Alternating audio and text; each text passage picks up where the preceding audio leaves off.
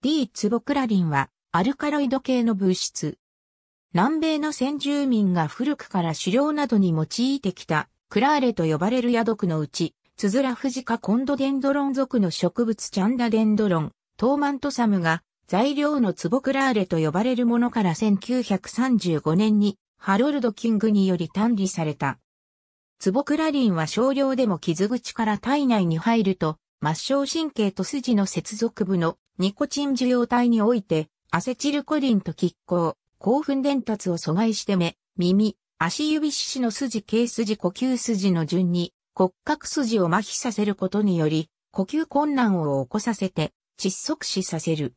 逆に、経口摂取しても排泄が速やかで、毒性を発揮しないため、これを含む、矢毒を用いて倒した動物を食べても害がなく、狩猟に用いるには、都合が良い。単理されたものが筋弛緩剤として用いられていたが、2000年に原料の取得困難を理由として医療目的の販売は中止となっている。しかし、薬理学の実験には書くことができないものである。ツボクラリンの生合成は、二つの共造異性体、テトラヒドロベンジルイソキノリン、特に N メチル、コクラウリンのラジカルカップリングを含んでいる。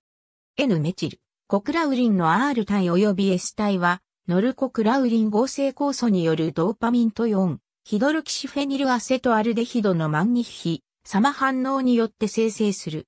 ドーパミンと4、ヒドロキシフェニルアセトアルデヒドは共に L チロシン由来である。